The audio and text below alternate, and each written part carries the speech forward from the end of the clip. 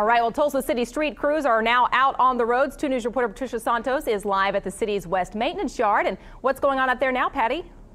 Well, you can see that the snow is falling pretty uh, steady right now. You can see it's sticking to the vehicle here, but it's not sticking to the ground. And I want to draw your attention right back up here. You can see behind us that visibility is getting a little low right now. Well, let's show you a video just a few minutes ago. We're told that city crews are out monitoring the roads right now. This is a crew of about 30 people. They are going to start off by sanding the roads that need uh, any sanding at the uh, or any attention. Uh, right now, no problems have been reported. We also want to tell you that police are now operating under the Slick Streets plan, and that means they will not be responding to any minor accidents.